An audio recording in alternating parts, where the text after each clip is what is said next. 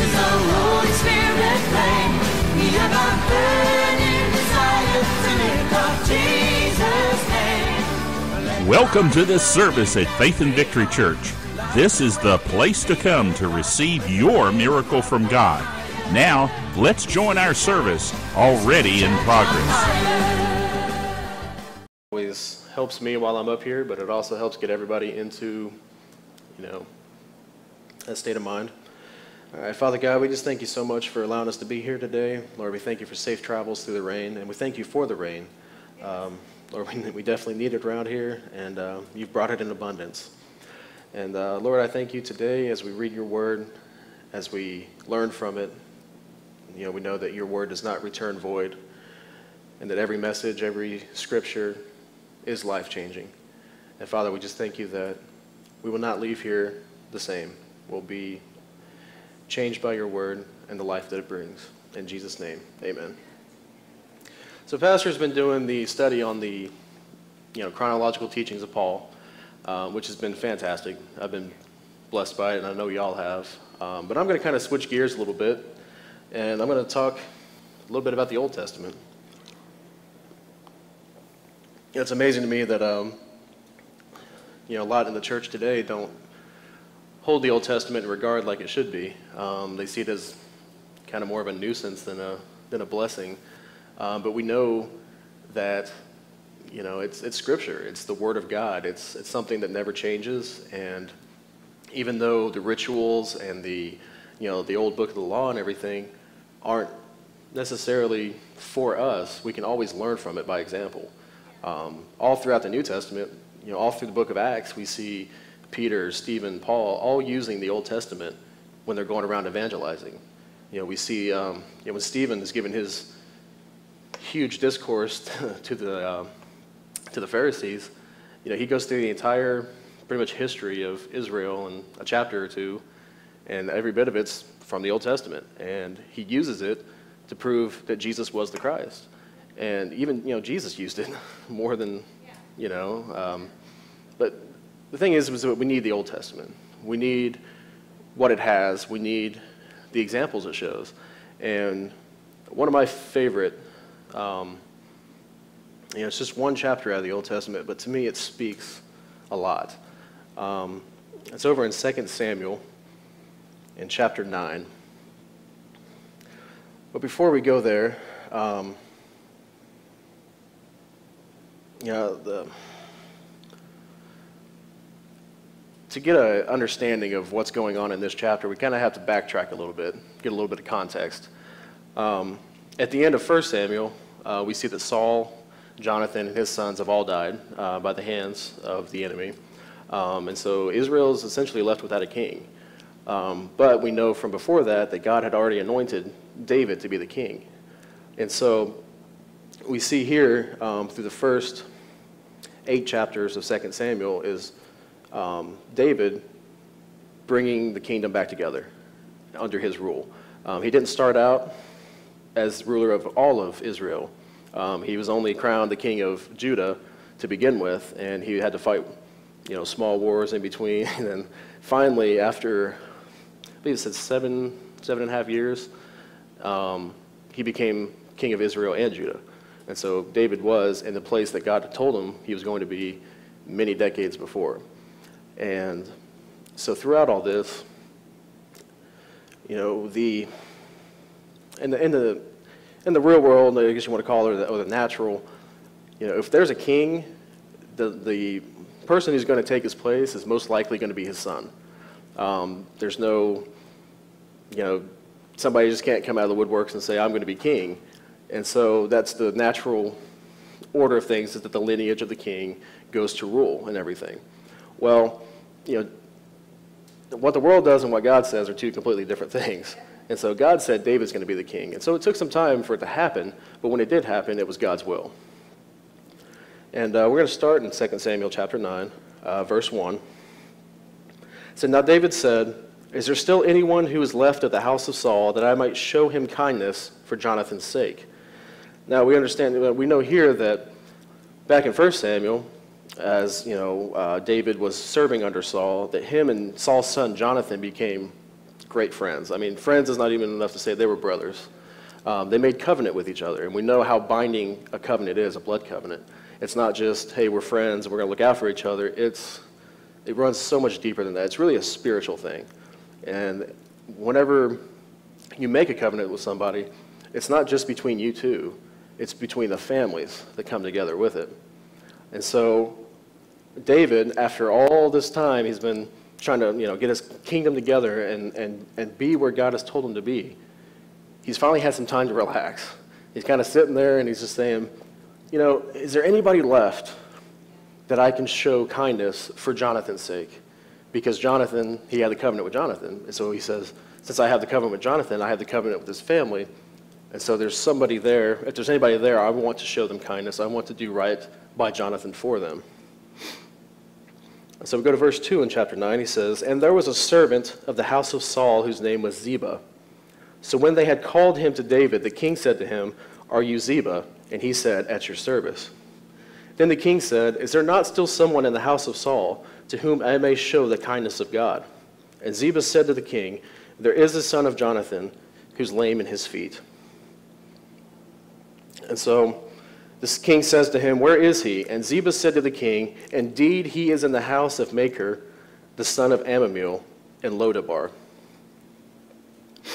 Now, the person he's talking about is Saul's grandson. Um, King Saul's grandson, Jonathan's son, his name was Mephibosheth. Now, for the sake of me not messing that name up, I'm going to call him Seth from here on out. But know that he, it is Mephibosheth that I'm talking about. So, the thing about Mephibosheth, Seth, is um, if you go back to chapter 4 of 2 Samuel, and you look at verse 4, it says, Jonathan, Saul's son, who had a son who was lame in his feet, he was five years old when the news about Saul and Jonathan came from Jezreel. And his nurse took him up and fled. And it happened, as she made haste to flee, that he fell and became lame. His name was Mephibosheth. And so, what happened here is during all this time when, when David is, is getting his kingdom together and everything, uh, Seth's nurse, who you know, took care of him from his birth, got scared because when somebody else is not in the family is trying to take power, they usually kill everybody who's in the lineage of the past king. And so she was scared that, he, that David was going to come after Seth. And she did not want that because she loved, I mean, she took care of him from the time, you know, he was young. And so she wanted to look out for him. And so she took him and fled the city. But in, in the haste of everything, she actually dropped him. And he fell awkward on his feet or, you know, whatever, and he became lame. Now, the extent of how lame he was, we don't know. Um, it could mean just that you know ankle broke, you know legs broke, and it didn't set right, and he couldn't walk well, or that he was just completely not able to walk. We, we, we, we don't know, but we know that he was lame, and he wasn't whole the way he was supposed to be. And so, so we see that um, uh, Seth is now in a place called Lodabar. And if you look in the Hebrew, the word Lodabar actually means um, pastureless or dry place. So Seth was literally in, in, a place that was very dry. And um, yeah, so has anybody ever been to a desert? Like traveled out west? Anywhere? I mean, it's a desert is obviously a dry place. I mean, you go out there, and the minute you step out of your car, like all the moisture just gets sucked out of your. I mean, it's just it's you become so dry and that, I mean, it's just like, oh, it's so weird. You, you try to apply lotion, but that just gets, you know, sucked right out of you again. And so it's, it's not a fun place to be. You know, you go, um, whenever I was at Rhema during my second year, we went to uh, the Navajo Indian Reservation on a mission trip during spring break. And that's when I first saw the desert. I'd never seen the desert before there. And, you know, you, you, you come back after being out there all day and it's just nasty. You know, you come, you take a shower and it's just like, oh, where did all this come, you know, stand? And this is, you know, everywhere. And, um, and so we see, you know, Seth is in this place that's called the dry place. Now, in South America, there's a, a desert called the Atacama Desert. It is the driest place on earth. Um, scientists have done studies, whatever, everything. Um, it's not the largest desert, but it is the driest. Um, and how dry is it, you ask? Well, the average yearly rainfall is less than one millimeter. I mean, we're talking like, I mean, that's not a lot. and so you have a, um, you know, less than one millimeter of rain. There's some weather stations in the desert who have never reported rain, ever, ever seen a drop of rain. Um, you see some of the river basins there have been dry for uh, like hundreds of thousands of years. Never, ever seen a drop of, you know, water. Um, and there's actually evidence that suggests that the region may not have had any rainfall from the year 1570 to 1971. And there's a lot of things that, you know, can cause places like this. When I was in the Navy, um, I, was, I was a weatherman. Um, I did um, forecasting, observing, that sort of thing. And so when I look at this, I think, well, that's pretty cool.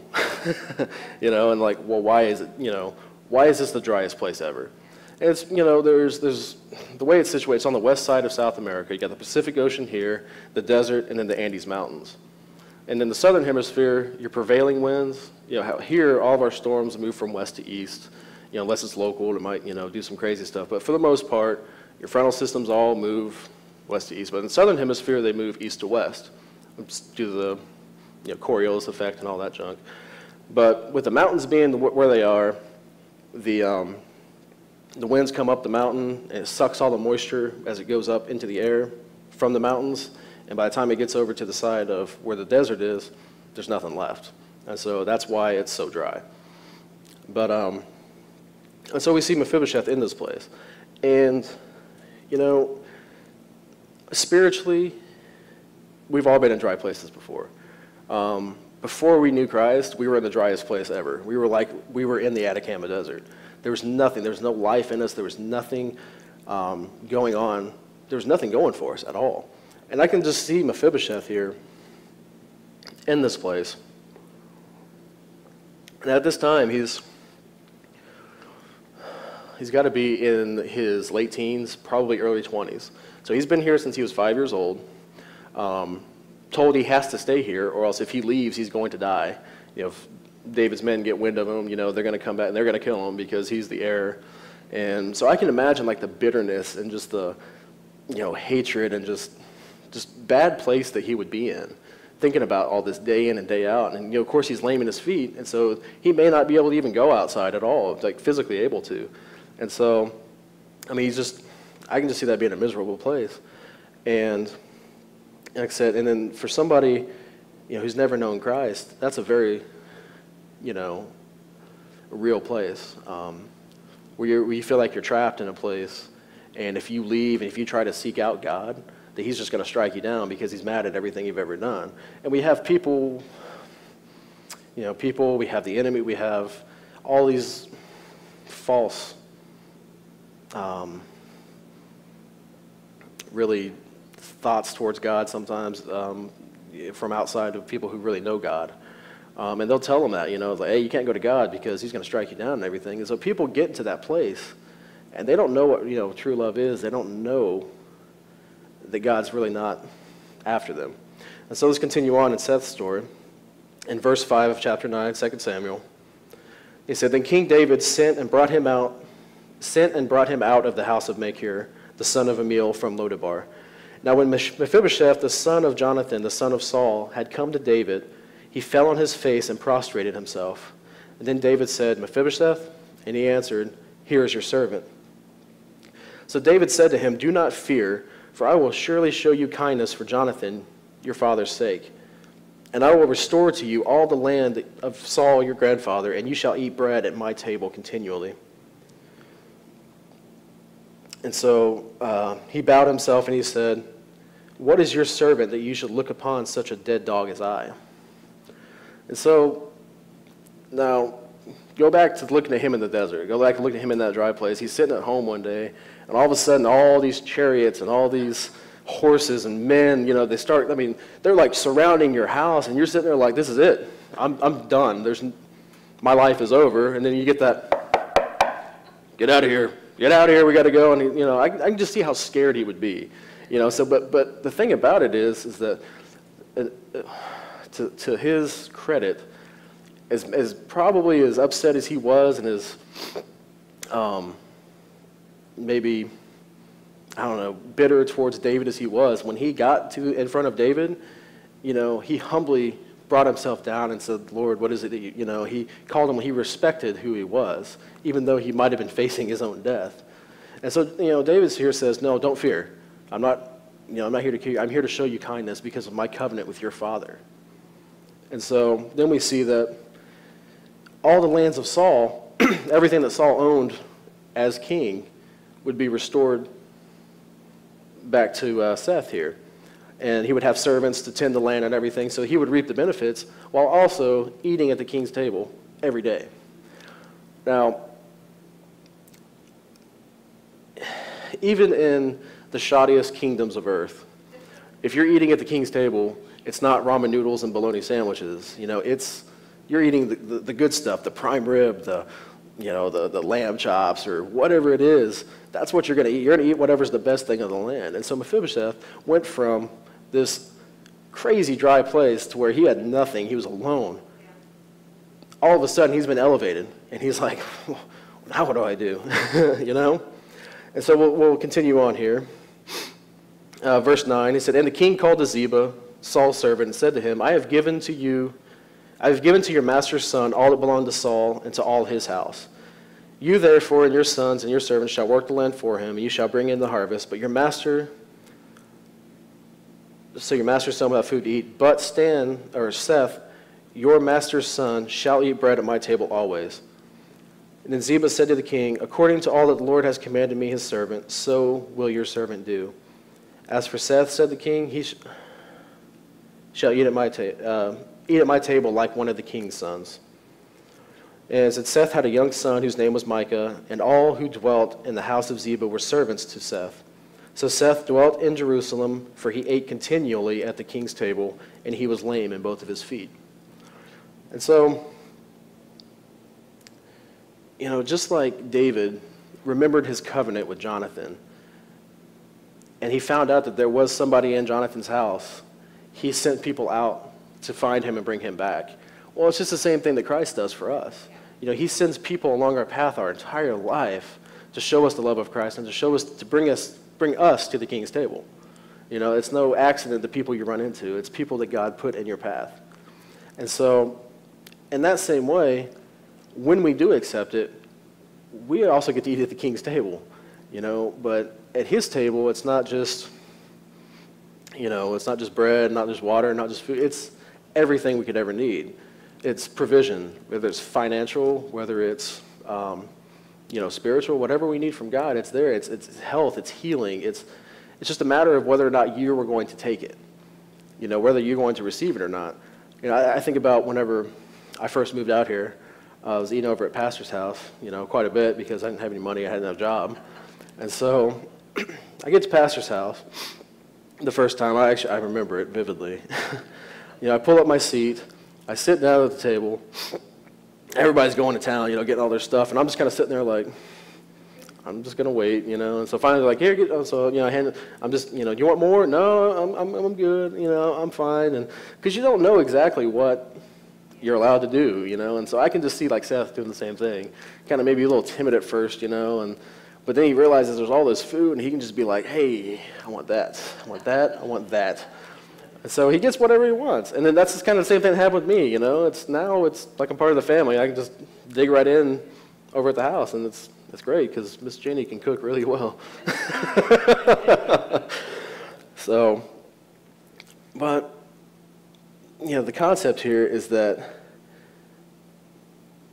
you know, the same thing is, is, the same thing with us in Christ. As we're sitting at the king's table, you know, we're sitting at the table of Jesus of God, he has laid out all these things for us. He's laid out everything, like I said, that we'd ever need, everything we could ever want.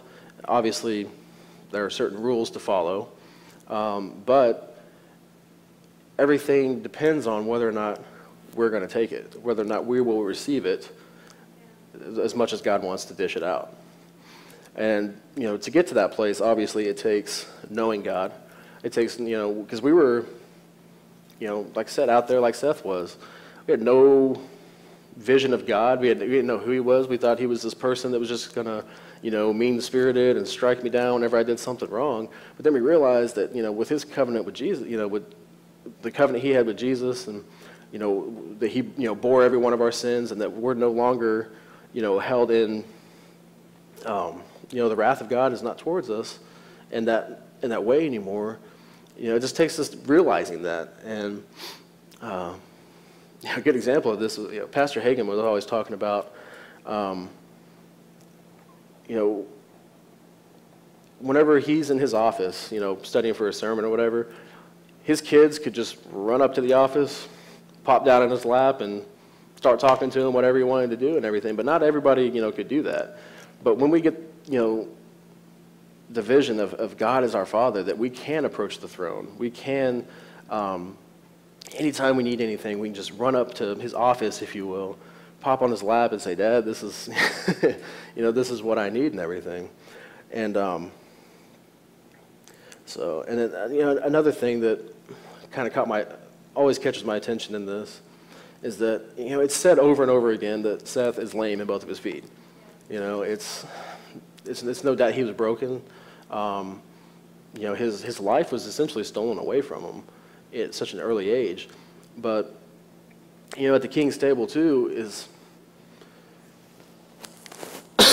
sorry, um, it's not just um, the king and his family eating with him all the time. I mean, there's, there, anybody who visits from a you know, neighboring country, you know, some, you know, wants to make peace or wants to, you know, make a deal or something, they're going to be eating at the table with David, with everything. And so Mephibosheth, you know, he's sitting there at this table, and, you know, I can just see this long table with, you know, the long tablecloth and everything. And when he's sitting at that table and those dignitaries come in, they don't know that he's lame in his feet. They, they, they don't see that aspect of it because he's not up, you know. And so, you know, and I think about if y'all were at the, the wedding, you met my brother, who was in a wheelchair. And I remember one time we were at a restaurant, and um, we had, you know, wheeled him in, got him into his chair, and the you know waitress took his wheelchair somewhere else so it wouldn't be in the way.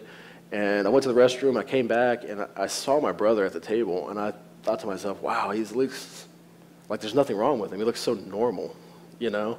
And it's it's it's really an amazing thing when it was just it caught me off guard, and um, it kind of clicked in my head. I was like, "Man, that's what that's what Seth looked like at the table. Nobody ever knew, you know, what happened to him." And that's the same thing with us spiritually. As we're sitting at the king's table, we are in Christ. You know, the principalities, the devil, everybody, powers in the air, they don't know that we were that fallen person. They don't know how, you know, that we're weak because we're not weak. We're strong in Christ. All they see is a king's son. All they see is Christ. And so we don't have to fear. We don't have to, you know, there's, there's nothing out there that can hurt us. You know, um, Jesus said and, in Luke, let me get there real quick so I don't misquote it. That Luke, uh, if I can find it.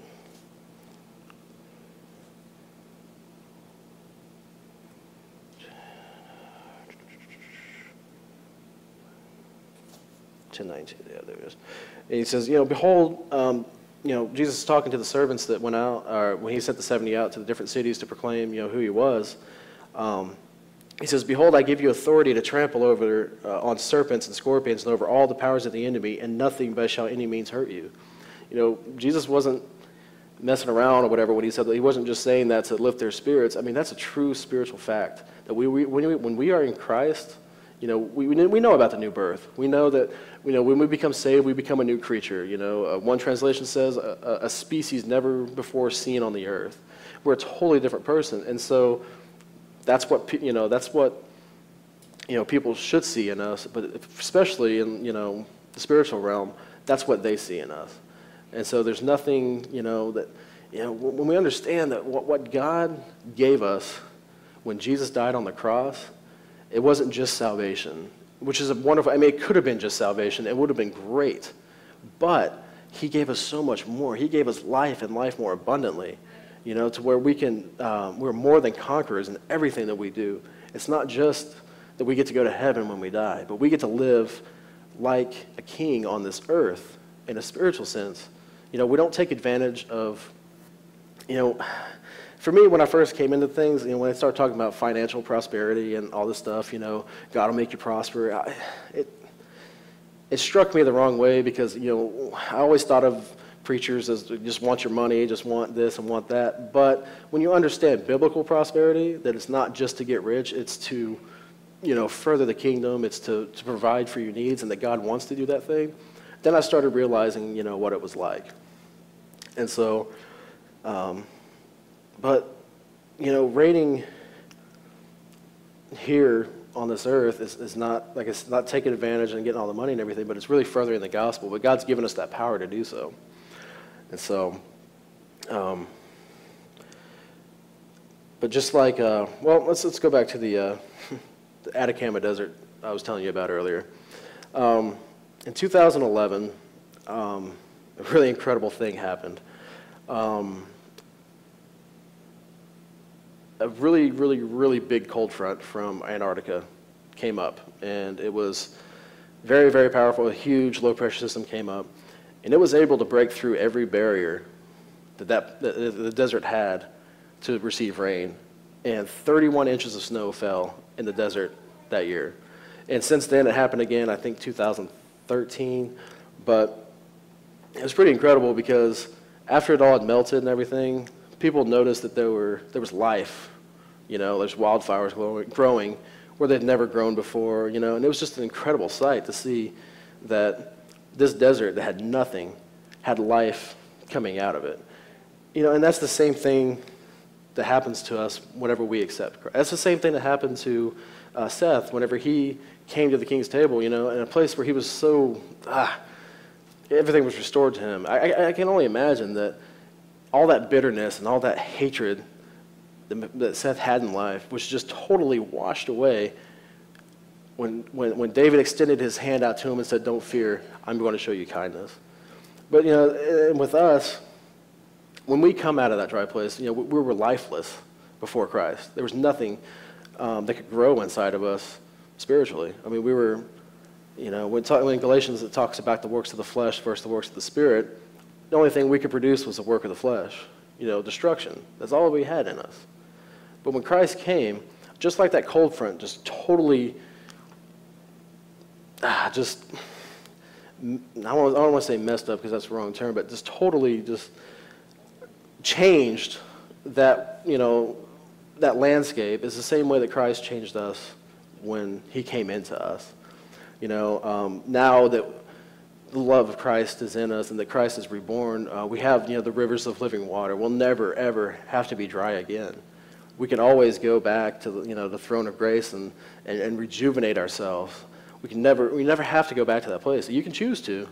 Um, you know, i mean, there's people who have, but we now just it's I don't know. It's just so amazing to me that um, how much you know when you're in the world and everything you don't you don't understand a lot of things. You, you think you're doing good, you, know, you got a pretty good job, making money, but there's always something that's missing, and you know, I felt like that for a long time.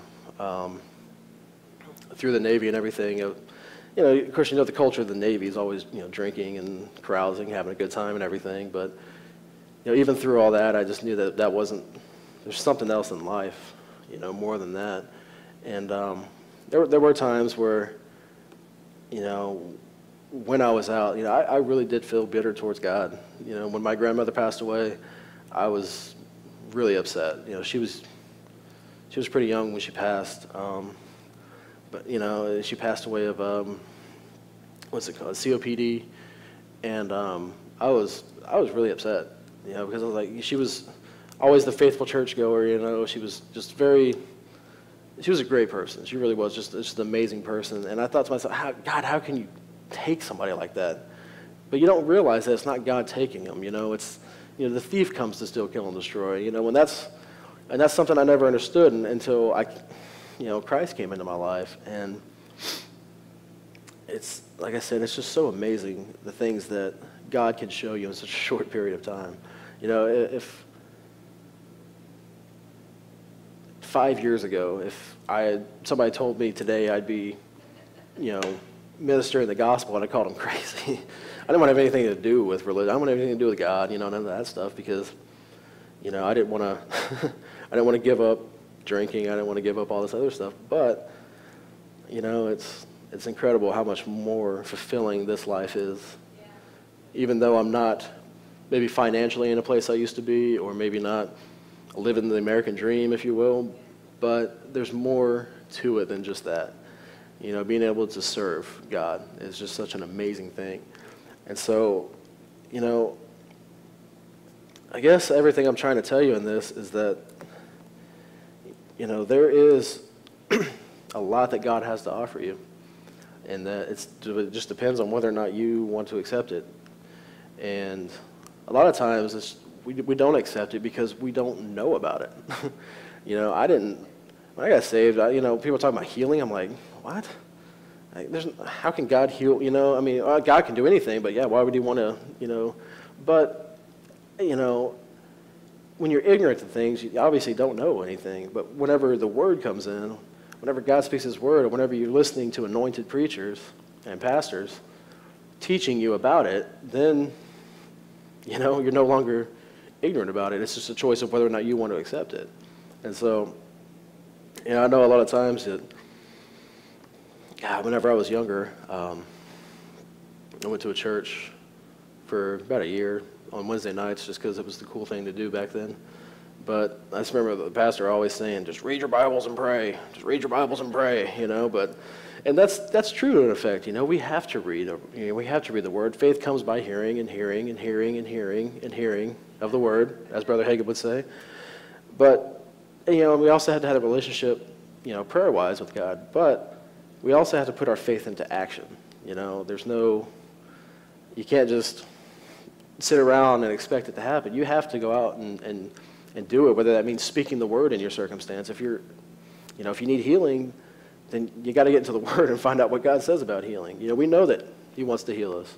But then you have to renew your mind to it, you know, confessing scriptures all the time. It's not the confessing of scriptures that's going to get you healed, but it's the faith that it builds up in you to where you get to that point where it becomes so real to you that you have the faith to activate what God's wanting to do.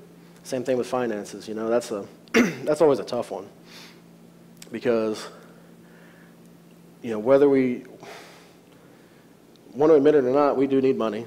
You know, we, we live in a world that's governed by the dollar or the yen or the euro or whatever you want to call it. But, you know, how can God, who's invisible and somewhere off in the distance, how can he bring me money? Well, there's, there's several ways he can do it. I mean, look at, uh, I think it was Elijah. Yeah, Elijah, when, when God told him to go out to the desert and the, you know, the ravens were bringing him bread, you know, bringing him provision. I mean, if God has to do that for you, he'll do it.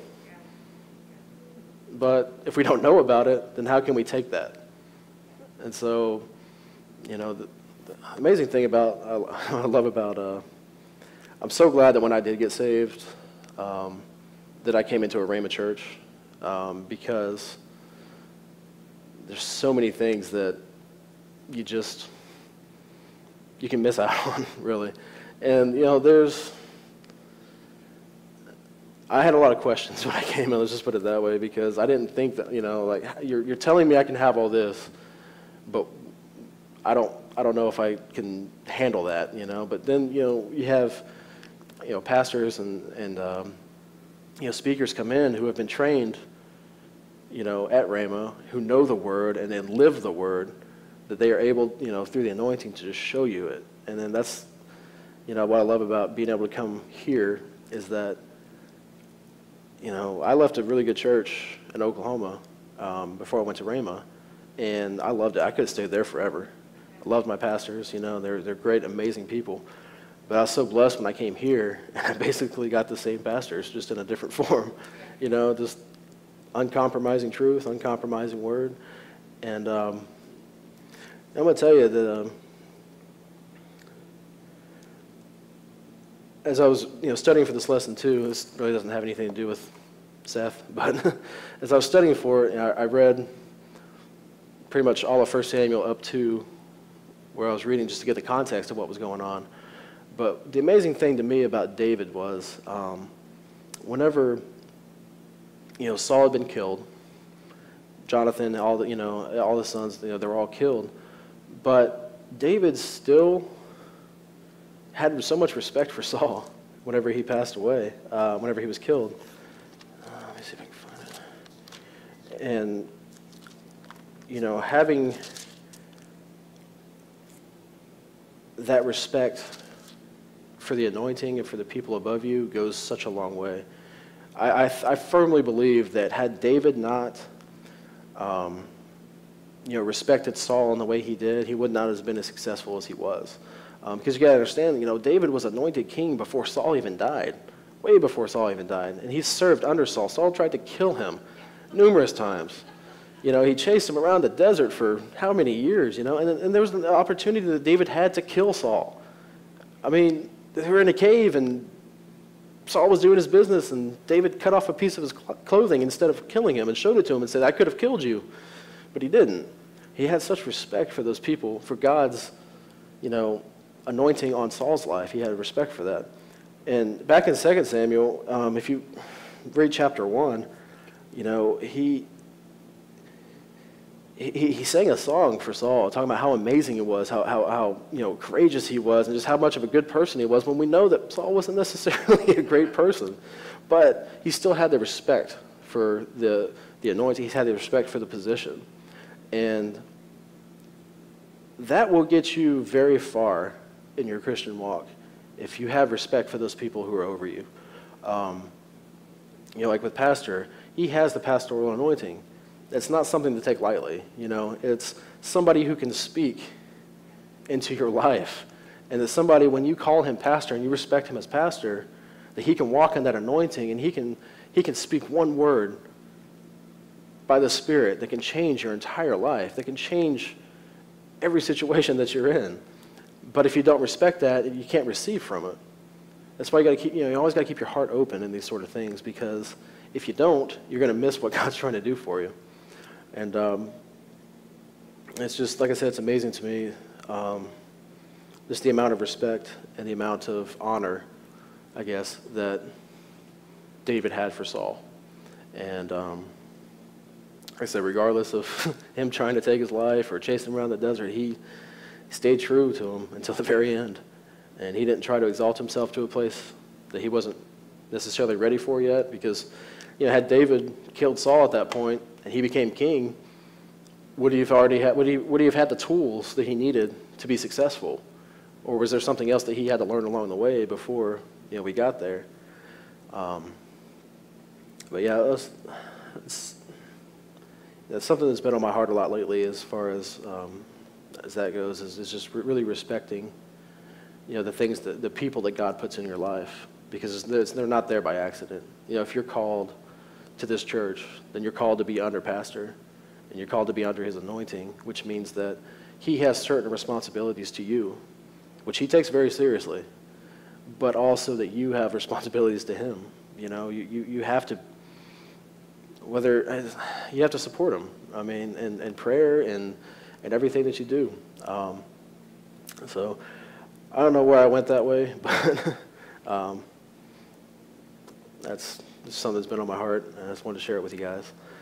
Um, so yeah, um, the title of this message actually was um, "From Dry Places to the King's Embraces," because um, you know we saw how he came from that really dry place, and, and, and Seth became, you know, a, a king, a, a really a son of a king. I mean, he wasn't by birth the son of of, of um, David, but he still got to reap all the benefits of being the son, which is the same that we get when we're in Christ.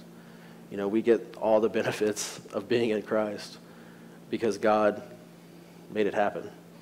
And um, so I just want to leave you with that today. And uh, this is time to take up the offering.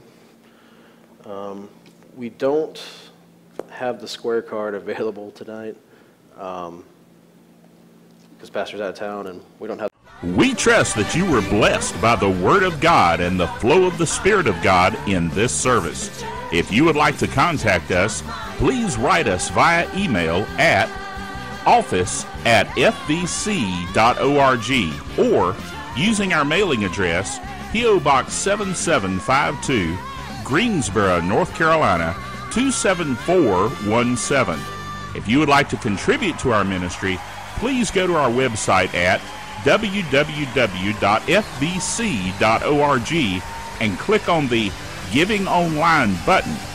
Thank you, and may God richly bless you for your giving.